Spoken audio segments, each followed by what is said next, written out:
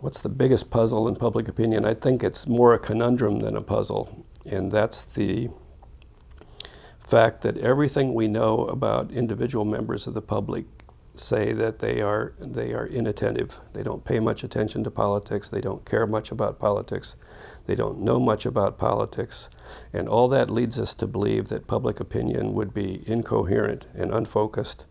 And in fact, it isn't. It's focused and coherent and responsive to what's going on in Washington. And that, that dualism keeps me going.